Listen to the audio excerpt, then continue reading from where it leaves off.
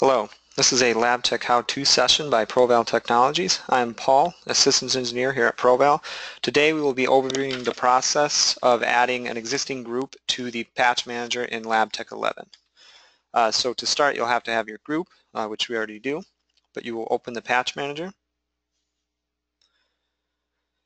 And once it loads, you'll go to the Configuration tab at the top far right corner.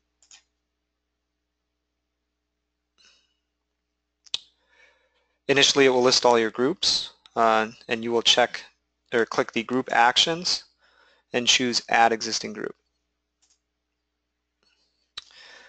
This will show all the groups in your LabTech environment and you can navigate through the hierarchy to find the group that you want to add. We will be adding a group called test patching. Just highlight the group you want. You can only import one at a time and click OK and your new group will be available at the top of the group list. Uh, from here you can go ahead and set your Microsoft Update policy, uh, your third-party patching policy if you have it, uh, your reboot policy, and then you will need to choose your approval policies. And that will configure patching for those machines.